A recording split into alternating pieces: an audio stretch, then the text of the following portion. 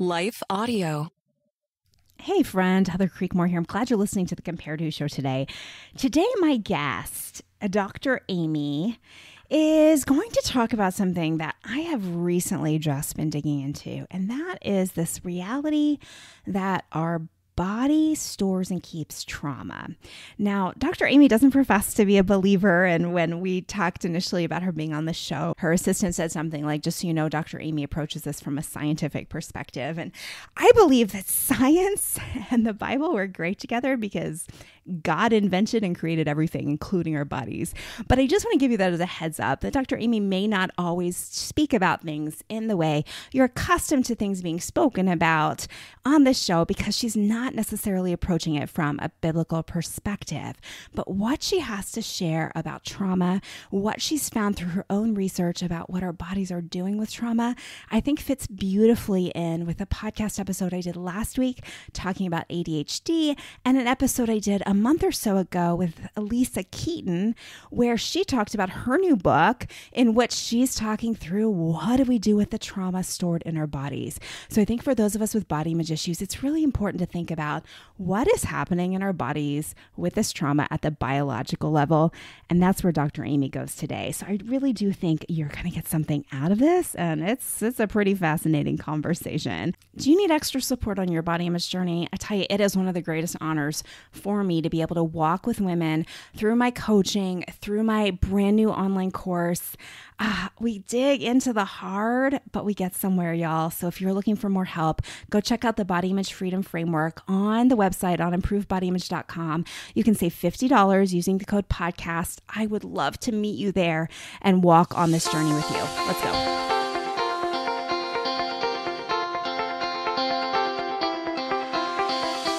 Welcome to Compared to Who, the podcast to help you make peace with your body so you can savor God's rest and feel His love. If you're tired of fighting body image the world's way, Compared to Who is the show for you. You've likely heard lots of talk about loving your body, but my goal is different. Striving to fall in love with stretch marks and cellulite is a little silly to me. Instead, I want to encourage you and remind you with the truth of Scripture that you are seen, you are known, and you are loved no matter what your size or shape.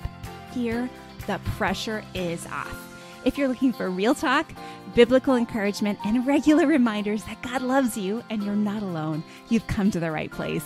I hope you enjoy today's show and hey, tell a friend about it.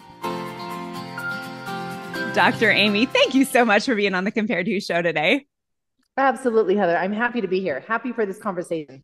So, this concept that we carry trauma in our bodies is something that I've been kind of researching, stirring with personally, like listening to different people like you talk about over the last couple months. And I just wanted to have you on to kind of tell what you found. I'd love for you to start by just telling us your story. Oh my goodness. Yeah, no, I I was not planning on going into studying trauma in the body. That was not my life plan. And my life plan changed when during medical school, I became a foster parent first and then adopted. Mm. And I was just coming out of my master's in biochemistry. I'm a science nerd, if you don't know that about me already. And I had a few months of space and I thought, ah, like, let me make my life as meaningful as possible. So let me become a foster parent. Jump through all the hoops. Well, by the time that they actually had their first placement for me, I was just jumping back into third year of medical school.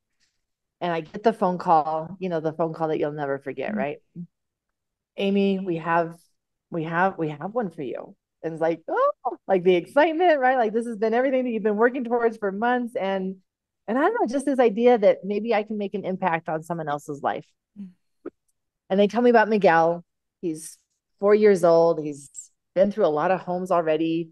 And in fact, that's one of the issues is that he's got some aggression problems and other families with kids or pets don't seem to be a good fit. Mm. But we think he's going to be perfect for you.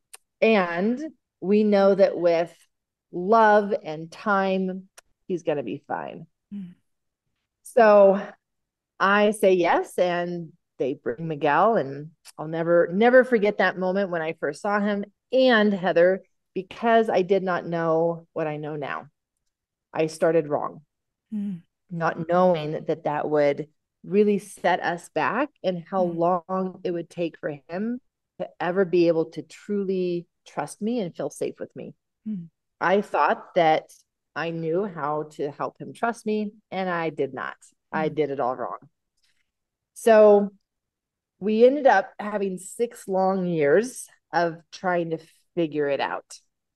And in that process, Heather, he became, I mean, he he let it all out at, at, at different points and let it all out, meaning let let me see the anger, the rage of all that was stored inside his body. He had been placed into the foster care system at nine months old. And obviously, there were reasons why he was placed at that time. So there had already been a lot that had been happening up until that point. And he was very, very lost, very hurt, very alone, and saw me as also a threat. Mm-hmm. And it it got very scary at times. It got extremely hard. It was definitely one of the hardest things that I've that I've ever done. And it taught me so much. And that's really that was my introduction to really understanding trauma and figuring out that all of the recommendations, the evidence-based therapies were actually not helping mm-hmm. and some of them were making it worse. And so it put me into this place where I became so open to just learning mm-hmm. help me understand let me see what else i can read. Let me see what else i can go listen to. Like what what else can i do? I became more open than i ever thought that i would ever become. Yeah. And in that process i started to learn so much about myself. And i had never been one that i had seen myself as having had trauma. And so to see to see patterns in him that I'm like, oh, I think I have that too. Not to that degree, mm-hmm. but I I think I push people away too. Mm-hmm. I think I hide my heart too. Mm-hmm. I think I'm also afraid to be seen mm-hmm. sometimes because what if they won't like me and then they'll leave me? Yeah. And as I was learning all this about myself, just watching him and it feeling like it resonated in some place deep in me, that's when I realized that I even don't even understand the, the true definition of trauma because mm-hmm. how could I have some of these things as well when I had a very different background in childhood than what Miguel had had? Yeah. And then I got to go on my own journey. And because I was now, you know, around the age of 30, my health symptoms were starting to surface from all of this stored trauma in my body. Mm-hmm. And I would have kept going and just kept pushing myself if my body had given out and said no we're done like you've you've broken us you've pushed us long enough we've given you the best that we have and we're done and for me that was again the, the lowest point for me in my personal health hmm. journey mm-hmm. and yet a very pivotal moment in shaping the rest of my life even my career mm-hmm. and being able to understand then this new element that I hadn't needed to work with Miguel because he was still a kid, right? Like mm-hmm. the sometimes the health issues from stored trauma take a few decades to surface. Mm-hmm. Wow. And to be able to see that and now to be faced with a new challenge of how do I work with that? Mm-hmm. And a question that I asked myself was is it even possible to reverse. These health issues that are a result of stored trauma or by now is it too late heather? Mm. uh, am i too late? And i just have to manage.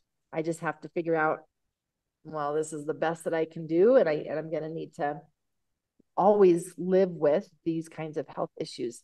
I didn't know the answer which was mm-hmm. a scary place to be. Mm-hmm. i didn't i didn't know and that's what I set out to find and discover. And that's what I'm able to share with people now. Yeah. And so I even have a professional training program where I share with professionals, I lead people through their journeys for this process of even connecting with our body in such a way to even know if we have stored trauma. Right. Because most people don't know. Yeah. Most people think they're just stressed. They don't yeah. know that it's actually stored trauma that they're not even aware of and it's contributing to all levels in their life. So when it is stored trauma, it will always present in multiple levels, everything from behaviors. And by behaviors, I refer mostly to coping mechanisms. Mm-hmm. Coping mechanisms are things that we do to not feel mm-hmm. uncomfortable things. Mm-hmm. And then we look at the thought level. So even the types of thoughts that we have will reflect stored trauma. Mm-hmm. We look at the emotional responses that we have, that will reflect stored trauma. And then the last layer, I want to call it like the deepest layer, just because it's also deep in our body, the cellular level, that will show evidence of stored trauma in our physical health symptoms. Yeah. So when I see someone with evidence in all of these areas and layers of their life, then that's when I'm saying, all right, we've, we've got to go on a journey into your nervous system, into your yeah. body, where there's evidence that we have stored trauma. Yeah.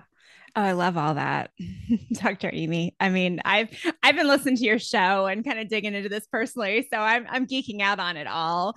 Um, you said something in a show about um, about how trauma can be uh, not having the tummy time as a child and I was out on a walk listening to it. I'm like, oh no, I've ruined my children.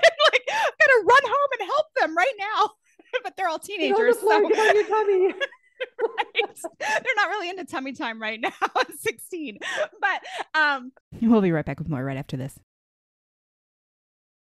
think for my crowd of women, right, we are largely women who have had eating disorders, disordered eating, some sort of food issues, but body issues.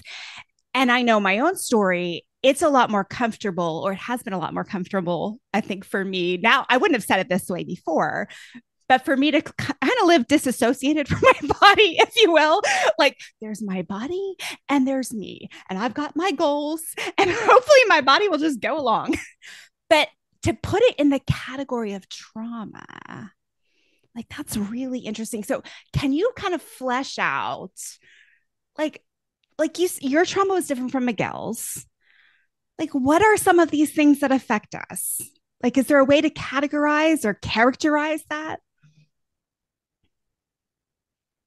Yeah. And isn't that interesting? Because my food issues probably started when I was eight, mm. maybe earlier, maybe mm. earlier.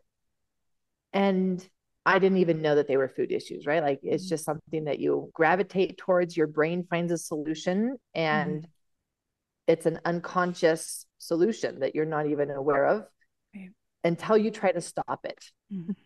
Yeah. and it wasn't until I found myself trying to trying to stop this emotional eating and binge eating mm-hmm. that I was engaging in and realized how hard it was to stop. Mm. I even enrolled in uh, Overeaters Anonymous mm-hmm. because I I was that desperate to have this as a solution. I I was sure that my eating and my excess weight were the source of all the problems in my life. Mm-hmm. And so, if only I could stop that, everything yeah. else would be better. And in the process, in the process, and and and I want to say in the process, not not really leaning into the the binge eating, but more my process then of trauma, realizing that I've no, it goes deeper than the eating. Like mm-hmm. there, the eating is a solution for something, and what's what's what's it a solution for? And that's where i discovered all of this stuff really about a new understanding of trauma mm-hmm. like what you're talking about. What are all those different things that actually can be traumas for us?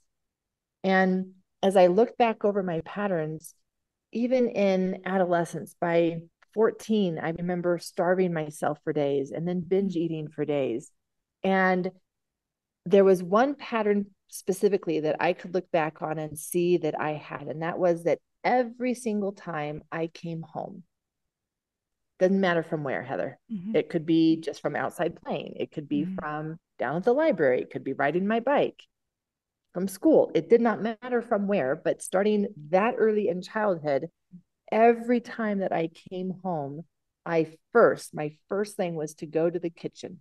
Mm-hmm.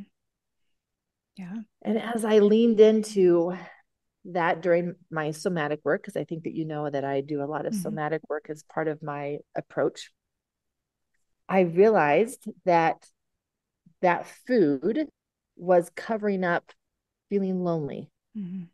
There was an element of, I don't feel safe here in this house. Mhm. I don't want to be home. I'd Mhm. rather still be outside somewhere else. Mhm. And then, of course, with that, there comes this disguised grief because I, I don't have a home where I feel safe. And as I looked at, oh, like these, these are stored emotions that I can then understand that at that time in my life, when I was eight years old, to feel that every time I came home, and even as I say that, right, like I, I start to feel so much compassion for that young part of me. That at that time in my life, I wouldn't have been able to understand any of that. Yeah. I'm an adult now. I can have that perspective. Mhm. But at that time, those feelings of, I don't want to be home and I don't even know why I don't want to be home. I just know that I don't like it here. Those feelings would have been overwhelming for me. I wouldn't have known what to do with them at that time, which is Mhm. why my brain and body went to the solution of, well, then let's just numb those feelings for you. Yeah. And then you don't need to deal with them. yeah. And so that's my new definition of trauma is anything Mm. that for any reason at that time in our life Mhm. overwhelmed our ability Mhm. to understand and process what I'm feeling, what is Yeah. happening, and to know what to do with that. Mhm.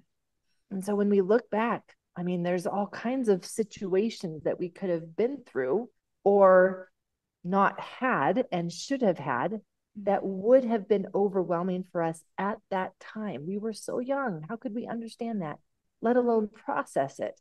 Yeah. Maybe, maybe we had a parent, maybe we had a teacher, maybe we had a friend who could help us process things.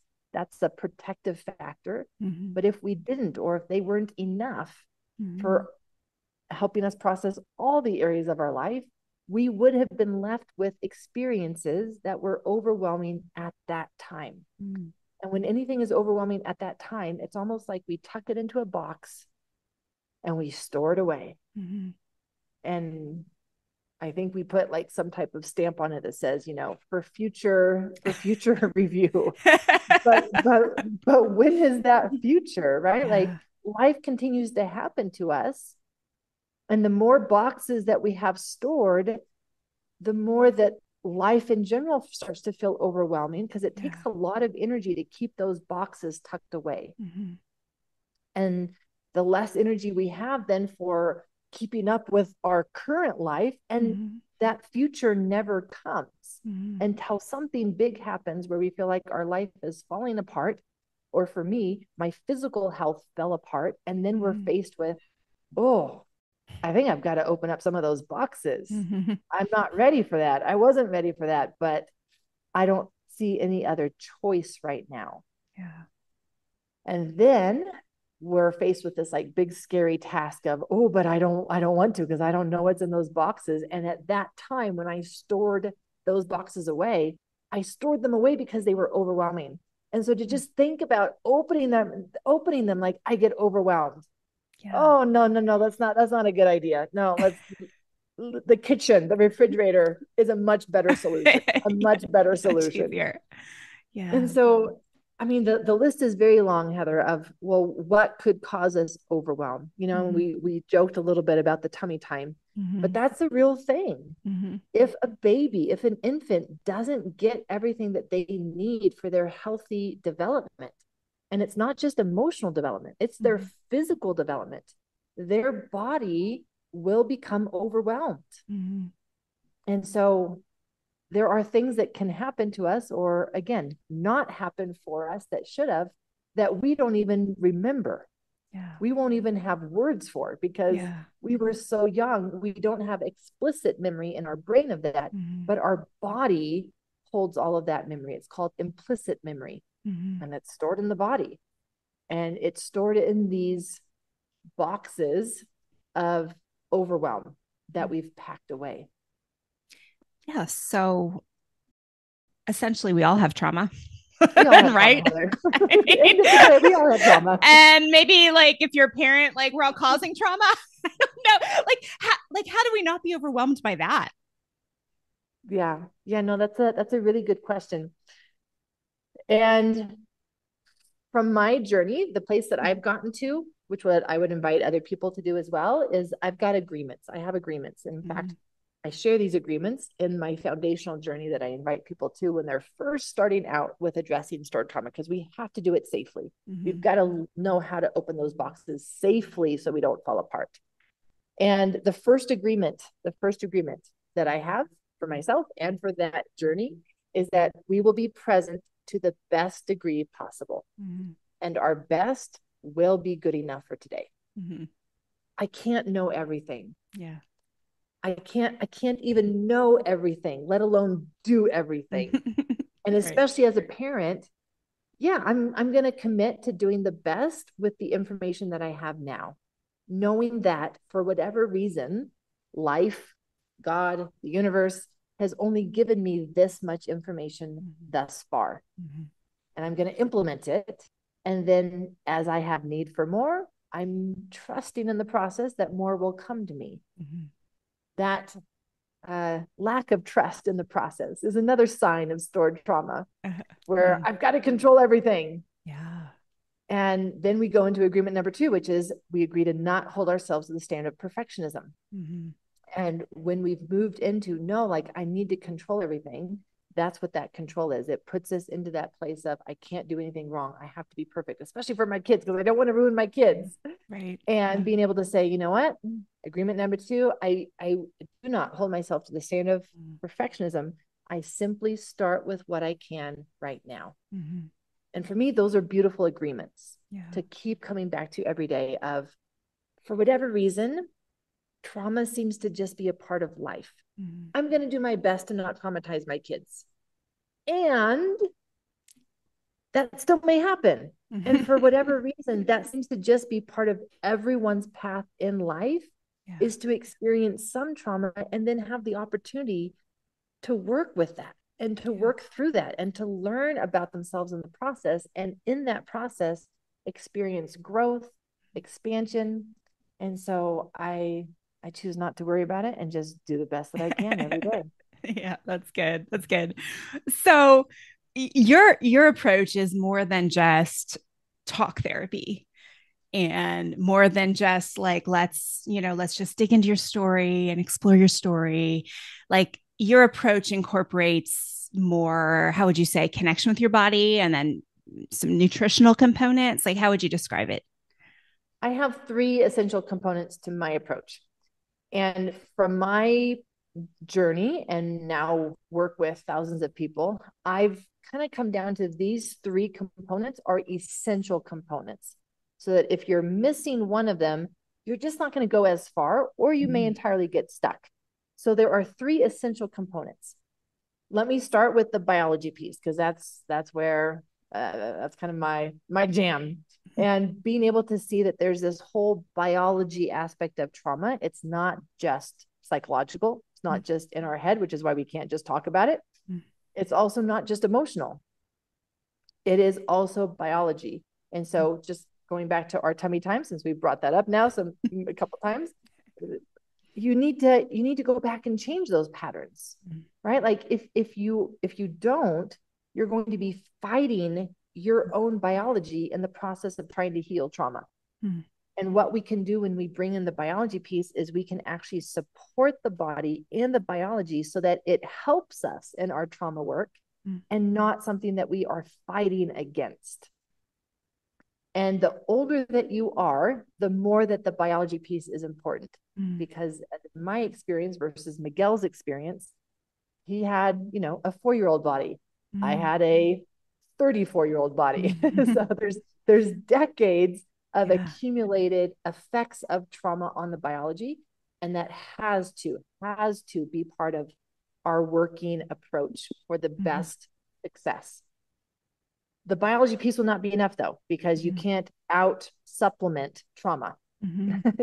you can't yeah. out sleep trauma you can yeah. work on your best sleep you can work on your best anything mm-hmm. and you can't you can't out biology anything trauma.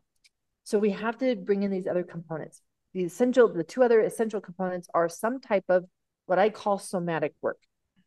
And somatic work, it starts with connecting with the body, Heather, but it's not just connecting with the body because I can connect with my body, but then what do I do with that? Mm-hmm. What do I do with that connection? So right. it's it's connecting in a way that I can actually understand and hear the messages from my mm-hmm. body and I can respond to those messages so that it becomes a dialog mm-hmm. not just a connection. Mm-hmm. And in that dialogue, Heather, what ends up happening is that people start to hear what their body is telling them that it needs in order to safely open up a box and mm. process what's in it and resolve it and discharge it. Mm-hmm. Until we hear those messages and can respond, we don't give our body what it needs. And that's yeah. why we just continue to accumulate more and more stored boxes. Mm-hmm. So, in this process, it is safe for a person to be able to process a lot of their own traumas, even on their own. They don't mm-hmm. need the therapist for that. Mm-hmm. It's just they haven't known how to connect, mm-hmm. listen, mm-hmm. understand, and respond to what their body is saying. But yeah. once I teach them how to do that, they start they start processing a lot of stuff in a safe way because they're now I want to use this word attuned, right? Mm-hmm. Just like a parent is attuned to their child, I am attuned to my body yeah. and giving it what it is asking for in the moment when it is asking for it. Yeah. Changes everything. And then the other essential component is some type of parts work. People may be familiar or may not be familiar with this idea of internal family systems, mm-hmm. and that we have different parts of us. So, for example, I had a part of me that would feel lonely when I came home when I was a mm-hmm. kid. That was one part of me. And then mm-hmm. I had a different part of me that would say, Oh, let me help you with that lonely part. Mm-hmm. I am the part that goes to the kitchen for food. Mm-hmm. And so we have these different parts of us, and we have to work with those parts if we're going to change the patterns mm-hmm. that those parts play out in our life. Otherwise, we can understand what we do and even why we do it, but we're still not able to change it mm-hmm. until we actually learn how to work with these parts, communicate with these parts. And there's a whole process of like negotiating and mm-hmm. coming coming to a place where we can support them for what they need rather than again trying to um, out willpower them because that's never going to work with our parts. So those are the three essential components and there are you know different things you can say well where does yoga fit in with that? Where does emdr fit in with that? Where does you'll notice that not you know like talk therapy was not one of my essential components. Mm-hmm. um, so there there are different ways in which different things can fit in under one of those categories but those are the three essential categories and all of the pieces that then i now bring into my approach and lead people through for their healing journey to safely safely open up and start to heal stored trauma. Yeah. Well, I think the concept of attunement really goes right in line with a lot of what we talk about on this show in terms of healing our relationship with food because most people that have been on a, you know, on a diet since they were 9 years old like myself, you know, just even basic body cues like hunger. you know, we've been taught to ignore those, right? Like, you're not hungry. Like, you can, you know, it's seven o'clock. We don't eat after seven. So we're not hungry after seven. And you're laying in bed at 10 o'clock. I'm so hungry, but no, I'm not hungry. You know, ignore that. So, I mean, that's, that's like just kind of right in line with that. I remember you saying something on one of the shows that I heard you on about running. Do you remember what it was? It was something about like how some of like how we want to over exercise and there was some reason for that. Does that ring any bells to you? I should have written it down. There's lots of reasons for that. So over exercising is a I mean it's a very effective solution for a lot of problems. uh, and I and I say problems in quotations, right? So running for one thing can give us dopamine. Mm-hmm. And for people who are low in dopamine, they will need something to give them dopamine. Eating will give us dopamine. Mm-hmm. But if you're trying to not eat, mm-hmm. well, then you may find yourself moving to exercise and running for that. So, for people who are what we call under methylators, they have a mm-hmm. methylation imbalance. This is not just yep. MTHFR. This is actually yep. more than that. but for the, for those who are an under methylator, most of them have lower activity in serotonin and dopamine. Mm-hmm. And this is an epigenetic condition, not genetic, epigenetic condition that you're born with. Mm-hmm. Often related to how much folate your mother took while she was pregnant, by the way. Mm-hmm. So interesting. speaking of biology, right? Like all, yeah. all these biology things start to come into play. But if you if you are an infant and you have lower serotonin and dopamine, you are going to need more from your mother for mm. just feeling safe in your body. Mm. And it may be more than what she can provide because mm. you need more. Mm. And when that happens, we will come out of our childhood feeling insecure. Mm. And it may have not as much to do with our parents, though it may, because that mm. could have been part of the equation. It could have just been our biology that just we were not as available because dopamine mm. is one of those neurotransmitters that is key to bonding and feeling attached and feeling secure. So if we yeah. don't have that, yeah, ooh, like we're we're coming out and again, there we have a very uncomfortable sensation where I don't even feel safe in the world now. Mm-hmm. I walk around constantly feeling like, okay, what else is going to go wrong? What else is going to go wrong? Mm-hmm. Yeah. when is it going to happen? When is yeah. it going to go wrong? I know that something's going to go wrong. Mm-hmm. And and so there's it just kind of starts to develop a lot of uncomfortable sensations, mm-hmm. overwhelming sensations for sure. And so we start looking for solutions and running, exercise, can be a solution for that. Um, I mean, I'm thinking of, of not only myself, I'm thinking of a number of other people, um, especially in childhood, right? Like the boys tend to go to weightlifting. Some mm-hmm. of them, some of them go to running. Mm-hmm. Depends on depends on again, their brain will probably try both and then say, ah, this this one helps us numb those feelings better. And for me, it's usually seen that they feel abandoned mm. feel emotionally abandoned by a parent that's important to them. Mm. And to not feel that, they go to exercise. Wow. Wow. Yeah. Oh, so I have like 27 more questions based on that conversation. but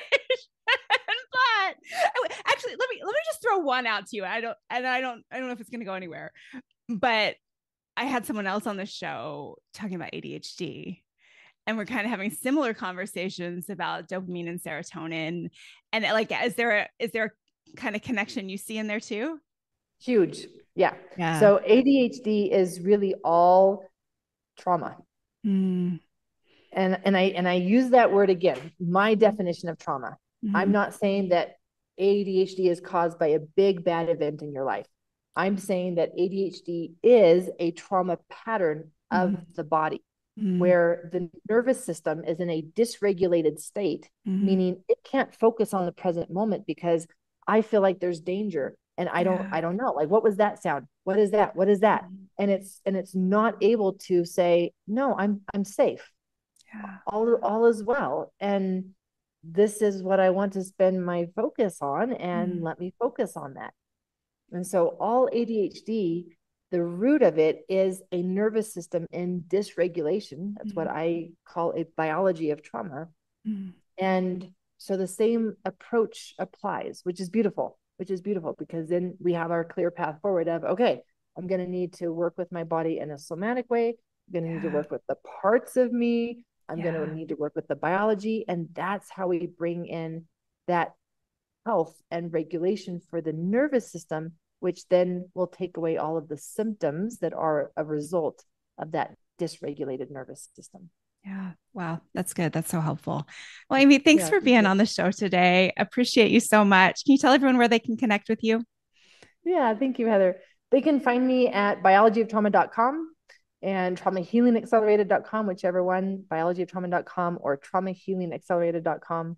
And uh, yeah, start i have some free guides there for them in fact if they go to traumahealingaccelerated.com i have a guide there that has a quiz inside and that guide is called the steps to identify and heal stored trauma And that way they can even start to know if they also may have some stored trauma.